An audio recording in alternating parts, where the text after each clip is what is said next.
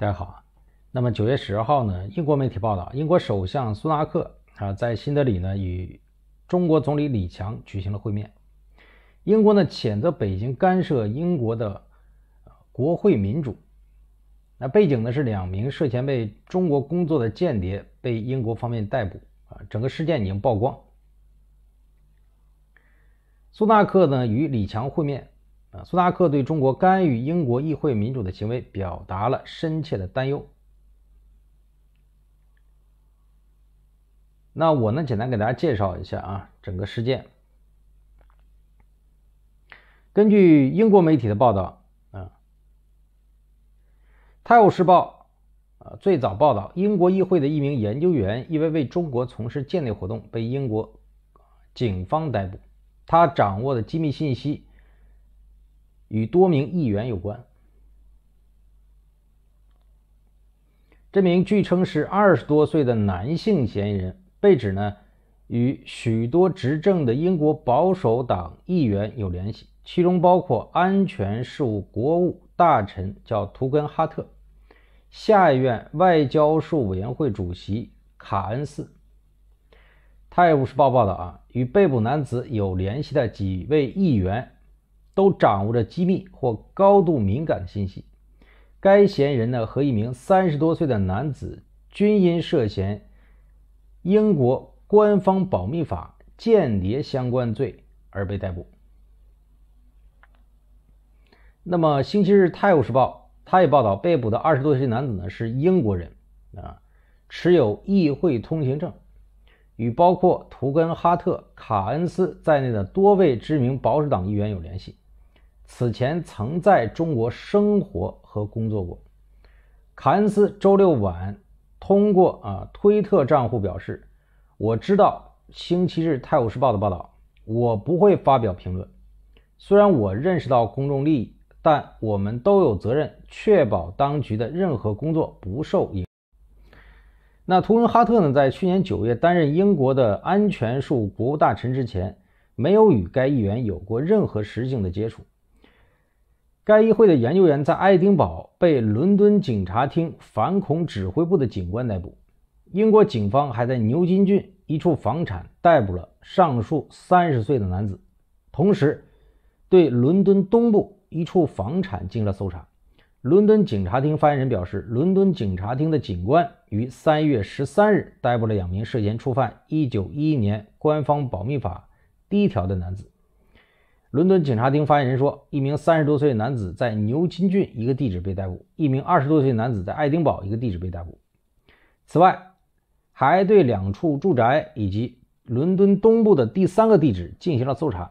两人被带到伦敦南部的一个警察局，随后被警方保释至十月初的一个日期。那么，伦敦警察厅反恐指挥部警官正在进行调查。该指挥部负责调查官方保密法。和相关罪行指控，啊，调查目前仍在进行。星期日《泰晤士报》援一位英国政府啊消息人的话说：“这是中国的一次重大升级，我们以前从未见过这样的事情。”唐宁街方面表示不对安全问题发表评论。英国的议会下议院已被取得联系。那么苏纳克呢？与李强会晤，苏纳克表示，双方存在分歧的领域，但会议显示了在有益的地方进行接触的战略价值。他说：“我认为正确的做法是抓住机会进行接触，提出具体的关切，而不是在一旁大喊大叫。”中方的一份会议纪要呢，没有提及啊间谍指控，但英国呢扩大与中国的务实合作表示欢迎。并补充说，李强表示，双方应妥善处理分歧。那么，央视的报道呢？十号上午啊，国务院总理李强在新德里出席二十国集团领导人峰会期间，会见了英国首相苏纳克。啊，李强表示啊，中英同为世界主要经济体，两国经济你中有我，我中有你，双方联系日益紧日益紧密，我们要以。稳定互惠的中英关系，更好造福两国和世界。中方愿与英方一道努力，坚持相互尊重、平等相待、客观看待彼此发展，增进理解互信，推动中英关系行稳致远。李强指出，双方应坚持开放合作，维护和扩大共同利益。中英都是自由贸易倡导者、践行者、受益者，应共同反对将经贸合作泛政治化、泛安全化。推动构建开放型世界经济，维护以世贸组织为核心的多边贸易体制，确保全球产业链供应链稳定畅通。那么双方呢，应当妥善处理分歧问题，秉持包容互鉴的精神，尊重对方的核心利益、重大关切。中方欢迎英方继续拓展对华务实合作，愿同英方深化贸易、投资、绿色发展。人文科技等领域的合作，共同支持和促进全球可持续发展。苏纳克表示，英国尊重中国的历史文化，重视中国在国际体系中发挥重要作用。英方愿同中方进行建设性、坦诚对话，加强经贸、科技等领域的务实合作，妥善处理分歧，共同应对气候变化等全球性挑战，构建稳定互惠的英中关系。那现在英国呢，在 G20 峰会上其实比较尴尬的啊，就大家可能没有啊就没有发现，就英国现在实际上你看，他这个苏纳克在积极的寻求这个多边的合作，但实际上 G20 峰会英国是被边缘化的，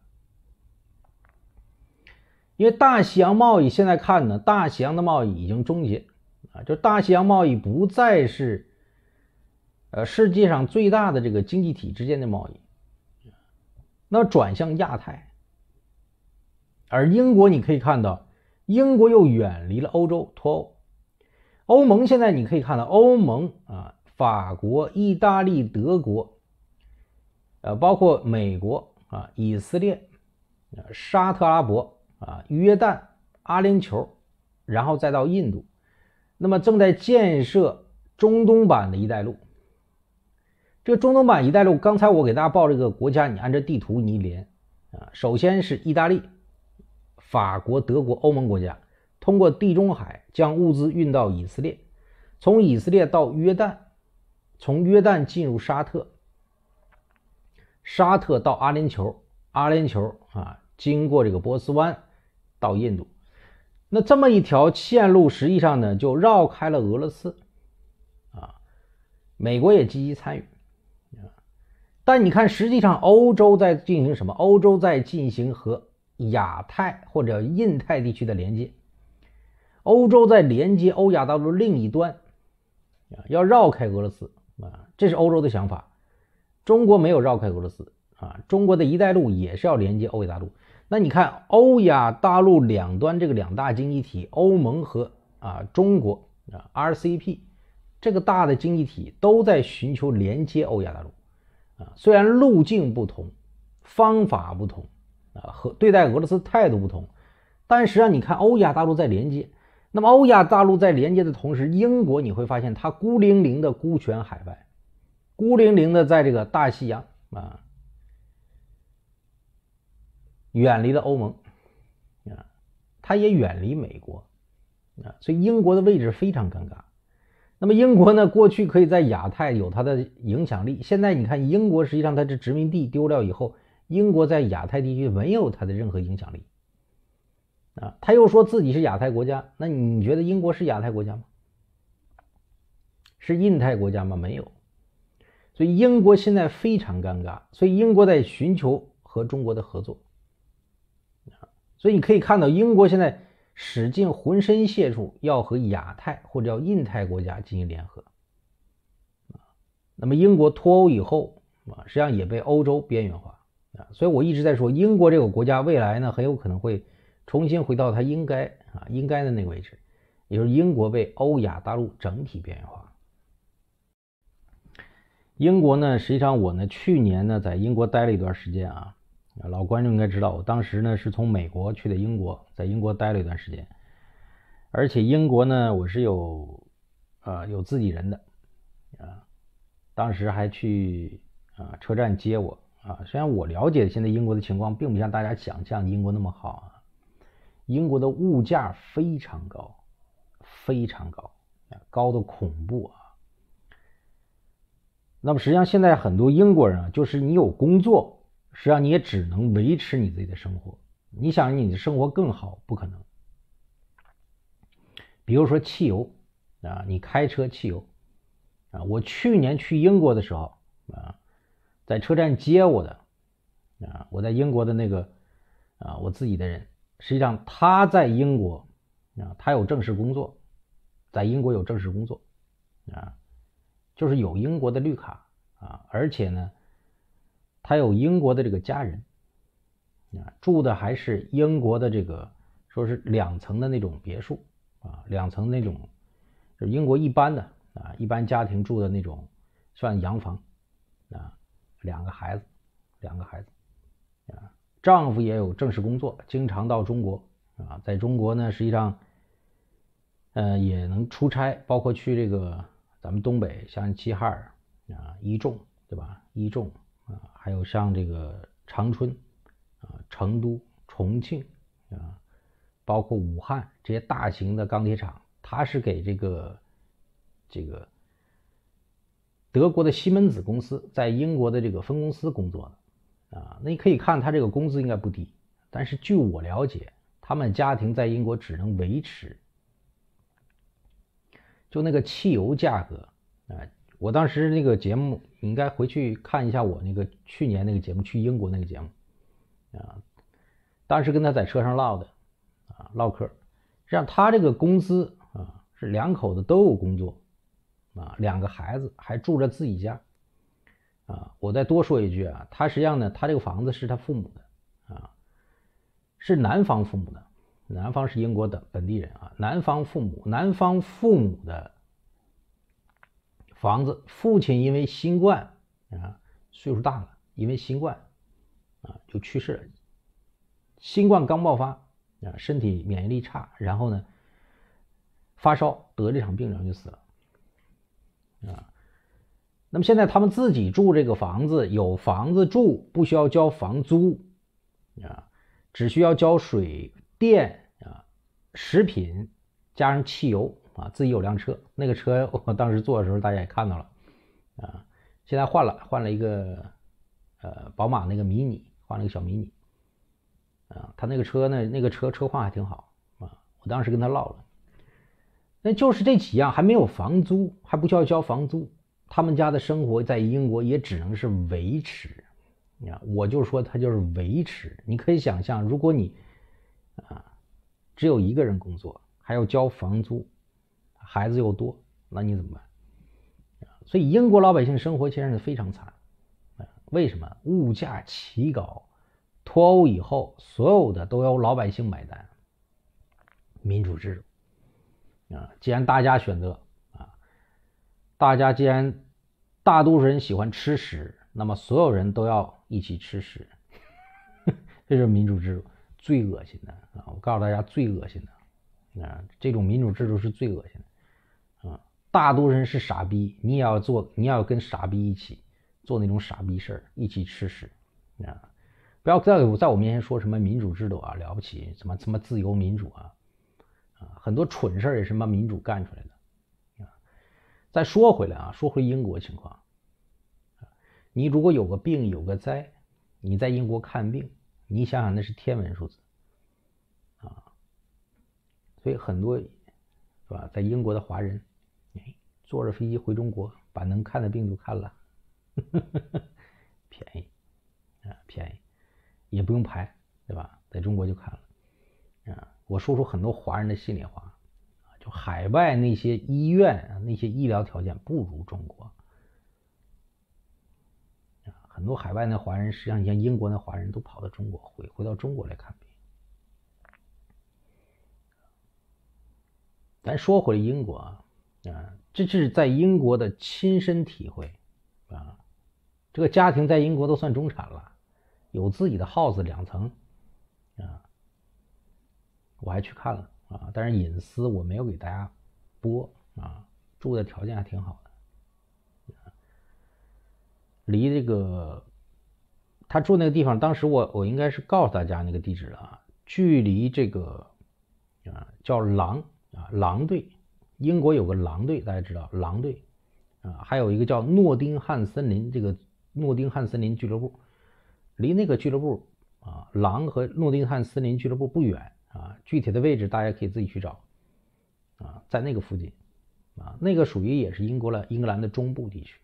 啊所以它实际上也不是那种像伦敦那种消费水平非常高的城市，啊，但是他说他已经快付不起了，啊，就是每个月来那个账单就那个汽油费用，我的妈呀，吓死人，不敢开车，买什么东西就自己走着走，啊，又不能失业，非常痛苦。这还是去年，你想想现在，现在更吓人。那说了这么多啊，大家也应该知道啊，英国现在实际上呢，它的整个的经济是在下降的，是在下滑的，而且是在被边缘化的。那所谓的日不落帝国啊，都是一个空架子了，已经。英国没有什么实力了，特别在经济方面，它需要寻求和中国的合作啊。那这次你看曝光了所谓的议会里边的中国的什么间谍也好啊，就是个筹码，希望和中国来谈。获得中国更多的投资，获得中国更多的经济上的支持，因为英国现在呢，他不希望呢被呃欧洲、包括中国、包括其他国家边缘化啊，不希望呢印太地区没有英国的影子，所以英国会积极寻求和印太这些国家合作。那中国现在和英国之间，你可以看到，中国和英国之间的合作未来也会加深。那么政治上呢，英国会寻求和美国的合作，但经济上英国离不开中国。所以你看到英国现在这个惨状，我啊，我为什么我一提到英国我信心十足？因为我知道英国的真实情况。英国的通货膨胀啊实际上是啊，受最大影响的是它的这个中产阶级，嗯，就是英国的这个工薪阶层啊，缩水了嘛，财富缩缩水。啊，它的整个购买力在下降，所以整个生活质量在下降。啊，所以英国的国内并不像大家想象的啊，就是你羡慕要把孩子送到什么英国去。我告诉大家，为什么英国？你看英国那些踢球的多啊，运动的多，唱歌的多，跳舞的多，他没有别的选择，他也想什么上班上个正经的班，也想什么啊出人头地，也想搞经商。但是英国已经不像你想象的，它的法律严酷啊，没有漏洞让你钻啊。所有的聪明脑瓜设计出那个制度，你想发财都难。那你想是吧？你在英国有个好的生活，出卖体力啊，踢球去啊。那发达国家嘛，发达国家什么娱乐业最发达嘛？踢球不就是娱乐嘛？供大家娱乐嘛，把球踢好，拼命的去踢球去。所以你看，有时候说中国足球不行啊，你看什么日本、英国为什么那么发达？人家那个球员为什么啊踢得那么好？他不踢得好，他活都活不了。你到英国，你去看看啊，上千英镑，上千英镑，干点什么都上千英镑，一千英镑等于多少人民币？你自己算算，干点什么都是上千英镑的。你不踢球，你不把这个球踢好，你能活着？那都是奇迹，你不睡大马路都都怪了。所以为啥小日本踢球那么好啊？是为啥那么多日本年轻人去踢？你看踢球好的全是那些发达国家的啊，全是那些娱乐业、娱乐产业发达的。为什么？没有别的出路吗？这条街上是吧，都都产妓女，所以大家都从事妓女行业啊。从小就去看球啊，那长大了不也就踢球？一个意思。他没有别的行业可选啊，他只能把这个事儿干好啊。日本不也一样吗？中国呢？中国球员有的是选择，包租公啊，对不对？包租公就完了呗，我受那苦干嘛呀？什么时候中国开始卷？就是中国也像英国、像什么日本那样的啊，娱乐产业非常发达，大家也挺有钱了啊，发达国家了啊，你不卷，你不卷这个，不不不奔上娱乐业。不踢好球，你睡马路去吧，死去吧！国家也不养你啊。那时候中国是吧？各种各样的，我觉得各种各样的球星也就出来了，体育也就慢慢上来了，实际上和这个你的整个的啊社会的发展阶段有关系。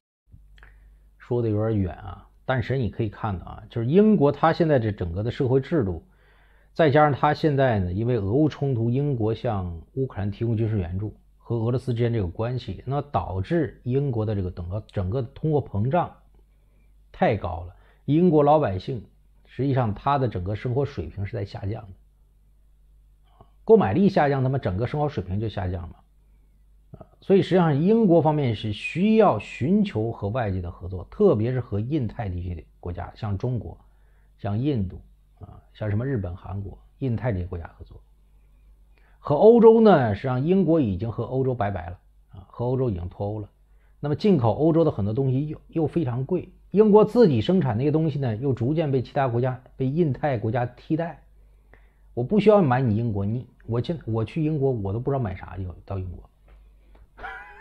日不落帝国呀！我最后在机场 买了个巧克力啊，飞机上还化了，没吃了，在飞机上化了啊。所以你可以想象，英国产什么？什么也不产呢？英国，英国现在没有，英国就产那张钞票了。这不就是发达的资本主义国家吗？用钱去生钱了啊！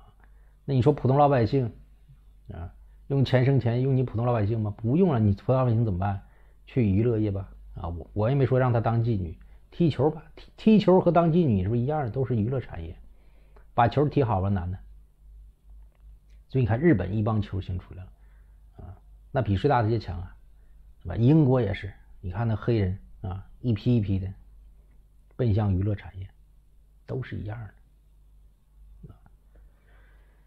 所以呢，你去了英国，你在英国啊，你通过他们亲身给你讲啊，你再看一看他的生活水平、生活质量，真不如在中国国内啊，在中国国内太幸福了啊，你吃的、你喝的啊，你整个的购买力非常强劲啊，所以还是在中国行。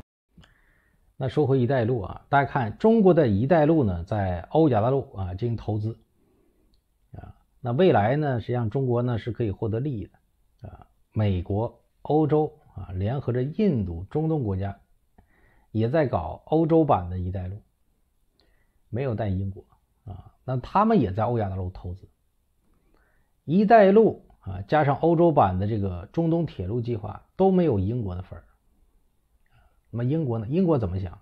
自己被边缘化了。英国一定是希望加入的啊，因为英国现在整个的经济实际上就靠钱生钱嘛啊，它有资本啊，因为是老牌帝国主义嘛啊，是老牌帝国主义国家啊，它非常狡猾，它不会把鸡蛋放一个篮子里啊，所以你看英国呢，实际上它非常聪明。他现在想的是怎么样加入“一带一路”，怎么样加入欧洲和美国的这个中东计划？怎么样我也参股，我也把钱送上去啊？用钱生钱嘛啊！你们投资也带我一个，这就是英国人想的。所以你看，现在什么苏纳克也好，英国的一些政府的政要也好啊，包括曝光中国这个间谍事件也好，实际上都是向中国施压，未来是要寻求和中国的合作。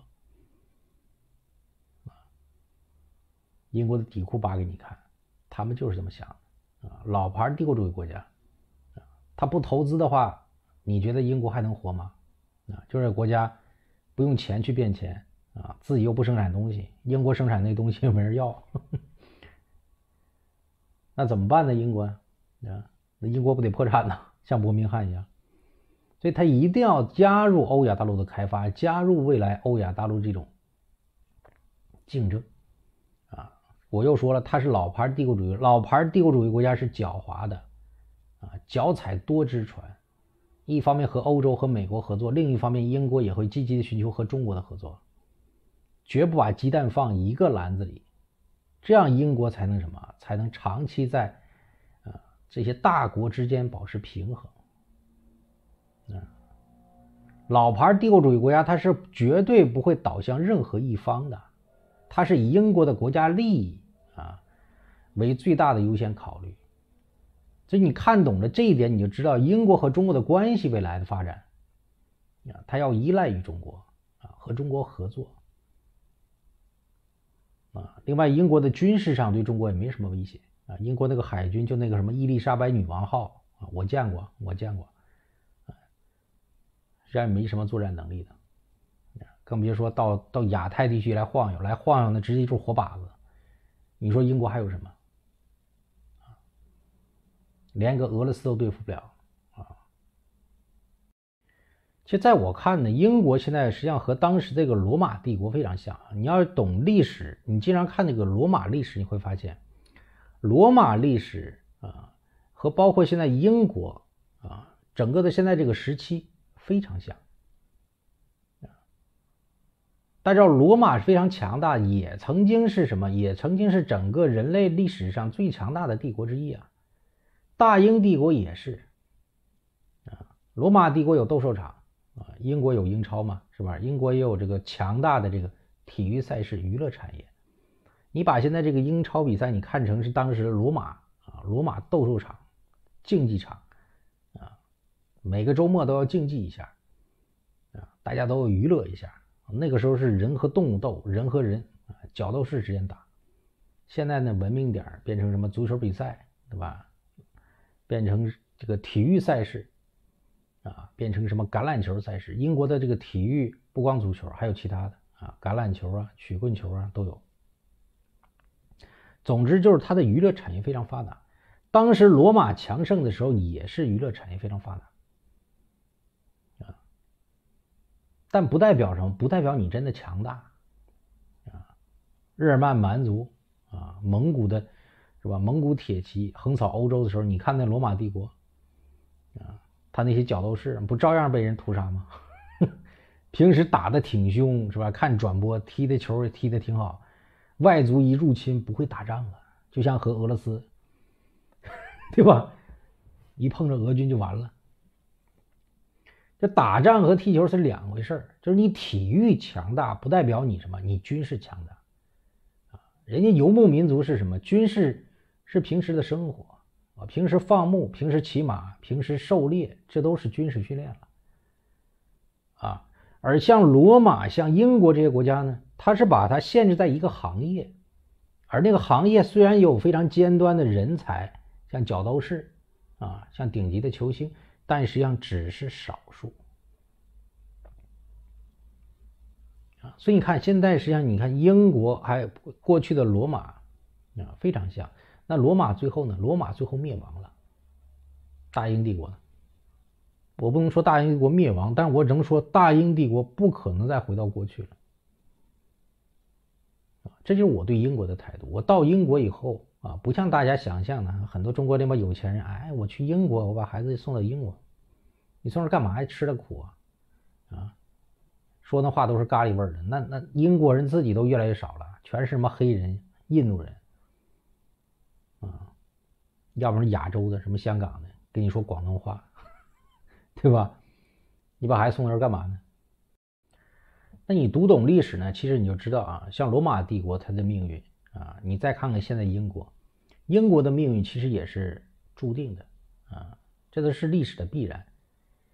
那实际上呢，英国并不像大家想象那么伟大啊。你去过英国，你会发现英国并不像你想象那么伟大。英国本身有很多问题啊，所以你看，咱们中国人未来和英国人啊，和英国打交道要有自信啊，未来不要把英国当成当时那个大英帝国了，英国它就是一个一般的啊，一个中等国家，不是帝国了啊，所以中国人对英国要有自信，那未来呢，和英国的合作也是平等的，也是互利的。不是我巴结你，我要上赶着求着和英国合作，错了。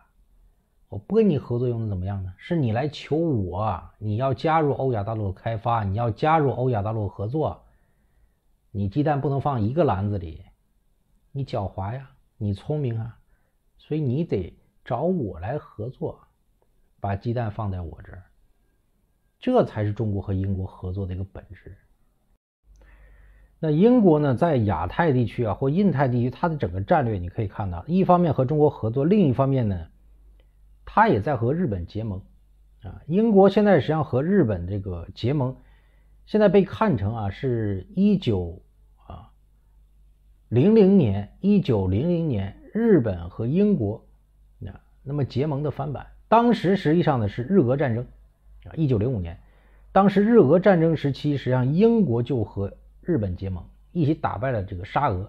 现在实际上你可以看日本的这个军国主义非常兴奋，为什么？他认为日本军国主义认为和英国结盟又回到一百多年前啊，英国和日本结盟打败沙俄，瓜分中国那个时代啊。现在中国也是崛起啊，沙俄啊就是俄罗斯，现在也在入侵乌克兰。那么实际上日本和英国的结盟啊，日本军国主义想复制当时的这个啊日本的这个崛起。所以日本军国主义非常兴奋，但实际上呢，日本是被美国控制的，啊，就日本能不能动还要看美国说了算。所以日本的军国主义，你可以看，不光杀杀这个，和俄罗斯比较亲密的这个啊安倍，对吧？安倍和普京之间关系非。那日本军国主义呢，他这种想法呢，其实非常幼稚的啊，就实际上他不可能复制，因为现在这个中国呢，也不是过去那个中国。俄罗斯呢，实际上也不是当时这个沙皇俄国，现在都是拥有核武器国家。你这种围堵啊，你和英国这种结盟，日本军国主义最后会被英国、被美国当成工具，用你日本军国主义这种非常疯狂的想法来围堵中国，让日本啊冲到最前面去跟中国斗。你看中国现在对日本的态度，包括这个福岛啊核电站这个啊排放这个核污染水这问题。中国也在正面的警告日本，正面的和日本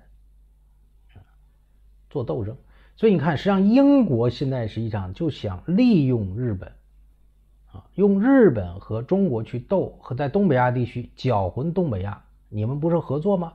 你们不是 RCEP 吗？但是你们政治上互互不信任，那么我英国就可以在你们互相啊之间互不信任这个环境下。我英国就可以发挥我的影响，和你们都有合作，而且我英国可以扩大我自己的影响啊，获得我英国最大的利益，这就是平衡，大陆平衡。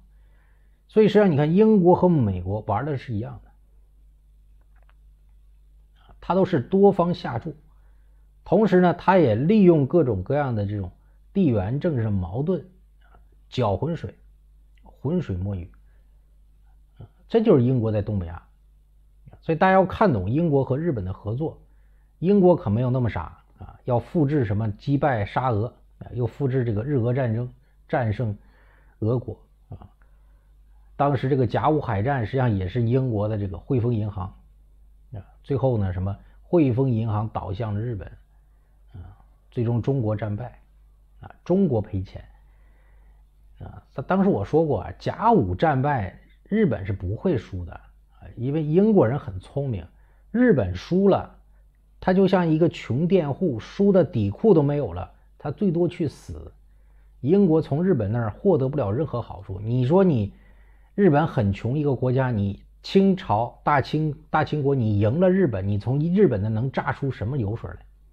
什么油水都榨不出来，他就是个穷光蛋啊！大家知道那个时候甲午战争时期，日本是非常穷的。不像后来啊，拿了中国这个赔赔款啊，国力日渐强盛。那个时候日本是非常穷的，你榨出来油水来。那么为什么汇丰银行还要和日本合作？汇丰银行还要和中国合作？你看懂了，这就是英国啊，他利用你们的矛盾，然后早就已经布局了。你中国战败，我才能从你中国获得更多的什么啊钱、现金、赔款。只有你中国战败，甲午战败，我大英帝国才有什么？才有利益。这就是英国。那未来中国和英国的合作，你按照这个思路，你可以想象，为什么英国和日本结盟？为什么在俄乌战争啊，现在发生这个啊世界上最大的这个地缘政治事件的时候啊，英国选择和日本结盟，英国啊又同样寻求和中国的合作。你看懂这个逻辑了啊？所以英国这个国家不简单，但是实际上英国这个国家啊，它也难逃整个的历史的。实际上，过去呢，你像昂鲁萨克逊啊，英国，他只要联合着日本，用日本就可以肢解中国，啊，打败俄国，实际上就可以控制整个东亚地区。那现在呢，实际上已经不行了。现在美国亲自下场对待中国，对付中国，围堵中国都非常困难。所以实际上，你看现在英国啊，它也面临一个问题，就是在东北亚地区，它寻求和美国一起围堵中国啊，英国自己也知道很难实现。所以，它也需要和中国合作，和中国对话啊，甚至投资中国啊，加入中国的一带一路啊，在资金上实际上向中国提供资金啊。英国也需要对欧亚大陆进行开发啊，寻求加入一带一路。所以大家要看懂了，现在英国现在也非常的务实啊，就英国一方面寻求啊和日本的合作，和美国的合作围堵中国，另一方面呢，他也要下注。啊，跟中国合作，这就是英国啊。英国这个老牌帝国主义国家，它永远不会把鸡蛋放在一个篮子里。所以英国呢，实际上有多面性啊。未来咱们看英国啊，我觉得从历史、从现实、从各个角度啊，我觉得要看清英国。那最后也是最重要一点，就是中国一定要联合俄罗斯。中国只要联合俄罗斯，中国和俄罗斯背靠背啊。那么能对付昂鲁萨克逊，对付像英国啊这样非常狡猾这个帝国。英国实际上呢，你可以看它一直游离于整个欧亚大陆，甚至游离于北美啊。英国它是要什么？要光荣独立啊，他不会依附任何一个啊地缘政治势力。所以中国和俄罗斯的联合会让英国很难对中国下手，英国也无法啊。联合着其他国家一起来围堵中国，那么英国只能选择和中国合作啊。所以中国只要和俄罗斯合作，英国和俄罗斯是死对头，那么这样俄罗斯就可以牵制英国。中国啊，实际上在欧亚大陆和英国这个合作才能更加长远。你要看懂里边的逻辑。你一旦远离俄罗斯，那么你对英国来说，你也没有实际意义了。啊，你中国实际上失去了一张牌，一张王牌，用俄罗斯去牵制英国。大家知道，英国现在和俄罗斯是死对头。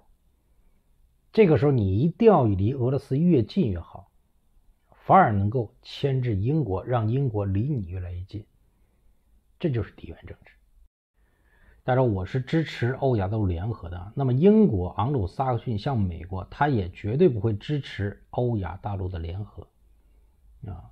绝对不会支持欧亚大陆的崛起，所以未来中国和英国的合作既要合作啊，经济上既要合作，同样中国在政治军事上啊，对英国英国也要警告，警告英国不要干预台海，干预新疆问题，干预香港问题，啊，不要对中国的内政指手画脚，啊，那这样呢，实际上中国啊才能稳定。中国的这个地缘政治环境，另外在和英国的交往中，中国才能占据主动位置，不要被英国、被昂鲁萨克逊。